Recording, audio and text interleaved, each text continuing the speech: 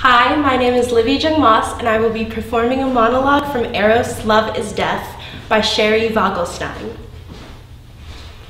Hi, everybody. I just wanted to say a few words about my beautiful sister Lauren, who's never looked more beautiful and happy than she does today. Uh, so, Lauren and I were very different growing up. She was blonde, I was brunette, she was thin, I was fat, she was a whore, I had morals. Um, but the truth is, we were both a little boy crazy. Luckily, we didn't go for the same type. I went for the ambitious, mentally ill type, while Lauren searched for true love. I remember the first day she met Ivan. She said to me, I think this is the one, and she was right.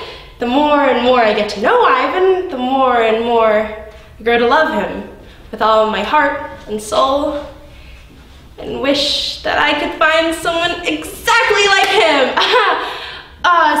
Let's all raise our glasses to my wonderful sister Lauren and her true love, Ivan.